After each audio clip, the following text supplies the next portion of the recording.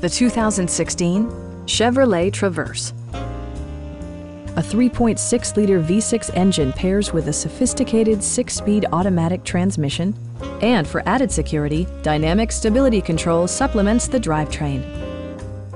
Chevrolet infused the interior with top-shelf amenities such as delay-off headlights, front and rear reading lights, a rear window wiper, a tachometer, turn signal indicator mirrors, and more.